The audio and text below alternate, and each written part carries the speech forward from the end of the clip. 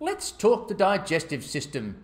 Now, the digestive system, it contains nine organs. You have the mouth and throat, which is collectively known as the pharynx. Then it goes to the esophagus, then the stomach. Then we have the pancreas, the liver, the gallbladder, and the small intestine. The small intestine has three parts duodenum, jejunum, and ileum. And then we go to the large intestine, which also has three parts. It has the colon, the appendix, and the rectum, and then the anus. All in all, it's about 25 feet in length. Now, you produce around about 32 ounces of saliva a day.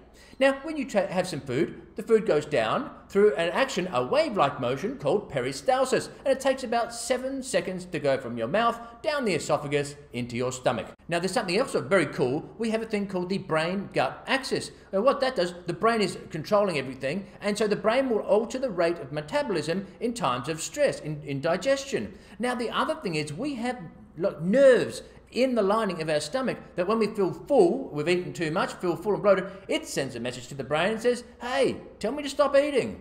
Likewise, when we're hungry, it feels empty, these little nerve fibers go, hey, get me some food.